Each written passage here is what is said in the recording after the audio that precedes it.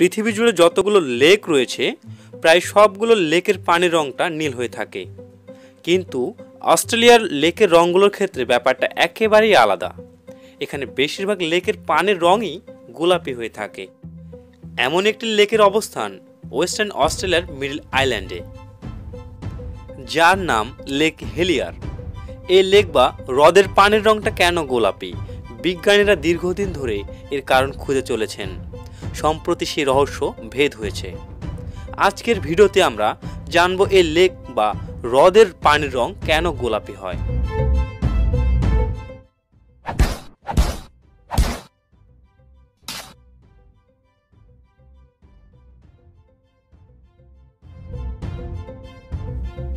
দু হাজার পনেরো সালে লেক হিলিয়ারের পানির রং নিয়ে গবেষণা শুরু করেন এক্সট্রিম বায়োমি প্রজেক্ট বা এক্সএমপি এর একদল বিজ্ঞানী।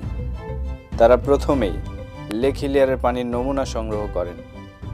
পরীক্ষার পর তারা দেখেন, লেক হিলিয়ারের পানিতে রয়েছে দশ ধরনের ব্যাকটেরিয়া, যারা লবণাক্ত পরিবেশে থাকতে ভালোবাসে। তাছাড়াও এখানে রয়েছে বিভিন্ন প্রজাতির শ্যাওলা, যার বেশিরভাগের রঙই সবুজের পরিবর্তে গোলাপি বা লাল। তবে এ ধরনের শ্যাওলার রঙের জন্যই লেক হিলিয়ারের পানির রং গোলাপি নয়। এর থেকেও অবাক করে দেওয়া এক তথ্য পান বিজ্ঞানীরা। পানির ওই নমুনাতে যেসব ব্যাকটেরিয়া পাওয়া গেছে, তার মধ্যে তেত্রিশ শতাংশ জুড়ে ছিল স্যালিনি ব্যাক্টের রবার নামের এক ধরনের বিশেষ ব্যাকটেরিয়া।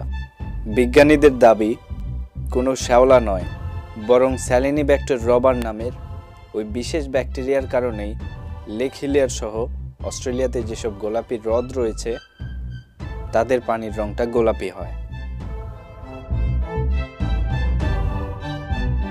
সো ভিউয়ার্স আজকের ভিডিওটি কেমন ছিল? কমেন্টে জানাতে ভুলবেন না। আর এমনই সব অজানা তথ্যগুলো জানতে আমাদের চ্যানেলটি সাবস্ক্রাইব করুন এবং পাশের বেল আইকনটি অল করে দিন।